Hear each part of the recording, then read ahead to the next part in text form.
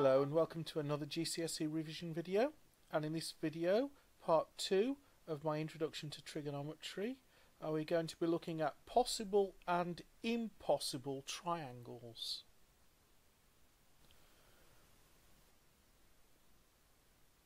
For a shape to be a triangle the longest side must be shorter than the sum of the other two sides. Because the shortest distance between two points is a straight line.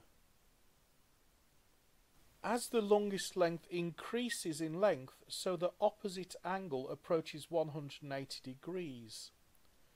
At 180 degrees, the whole shape collapses into a straight line.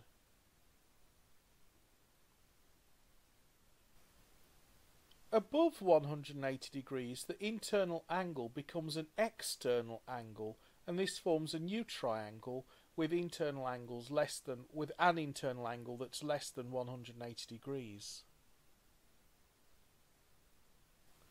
So the longest length must be shorter than the sum of the two shorter lengths.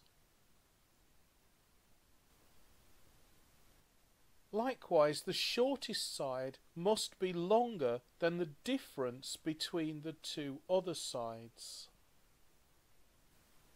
As the shortest side gets smaller, the opposite angle approaches zero.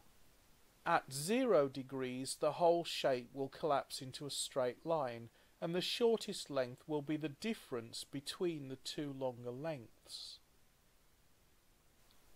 So for a shape to be a triangle, the shortest length must be longer than the difference between the two longer lengths. Furthermore, the longest length must be shorter than the sum of the two shorter lengths. Mathematically, we can say that the absolute value, that is to say the value ignoring the sign, of a minus b must be less than c and that A plus B must be greater than C. Okay, well so much for the theory. Let's have a go at putting this into practice. Uh, we're given some triangles and we're asked are such triangles possible to draw to scale? In other words, can these triangles possibly exist? And could we, at least in theory, solve them to work out their angles and their area and the height and all that kind of stuff?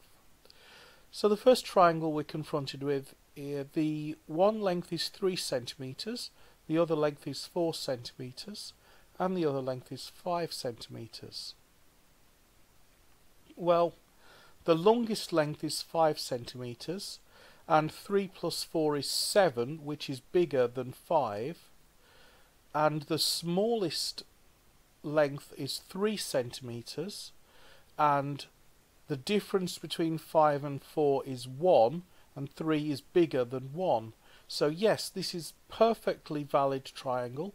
In fact it's a well-known form of triangle called a 3-4-5 triangle. So the answer is yes. So the next triangle we're looking at, uh, one length is 4 centimetres, the other length is 4 centimetres, and the other length is 4 centimetres. Well, 4 minus 4 is 0, and 4 plus 4 is 8, and all the lengths are greater than 0 and less than 8. So yes, that's a perfectly valid triangle.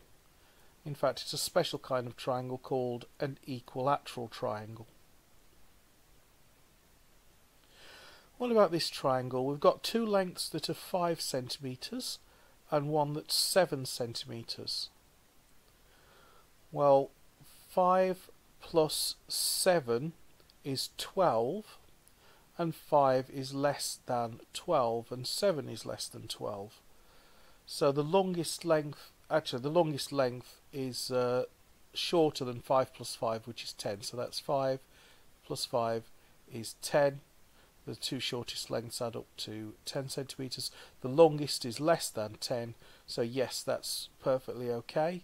And the difference between the shortest and the longest is 2 centimeters. 7 minus 5 is 2, and the other length is bigger than 2. So yes, this is a perfectly valid triangle.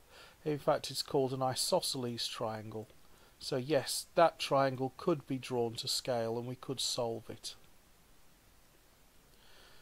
So we've got two triangles here that looks a bit like an isosceles triangle. We've got 4 centimeters and 4 centimeters and the longer length is 8 centimeters. Well 4 centimeters plus 4 centimeters is 8 centimeters. So this triangle is impossible. This would collapse into a straight line. So no, this is not a valid triangle. You cannot draw this triangle because the longest length is equal to the sum of the other two sides. It cannot be equal to and it cannot be greater than the sum of the other two sides. And we have one last triangle. Uh, we've got 10 centimeters, 12 centimeters and 1 centimeter. Well, the difference between 12 centimeters and 10 centimeters is 2 centimeters, and this shortest length is 1 centimeter, which is less than the difference between the other two sides.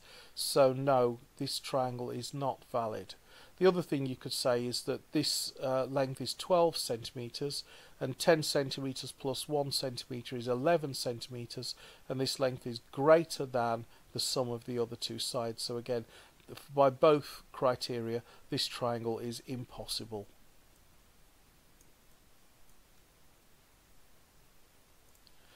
Okay, I hope you found that helpful. I'd like to wish you all the best with your revision and all the best with your exams. If you're taking your exams this year, good luck. Uh, don't forget to like, comment and subscribe, and I'll see you in another video.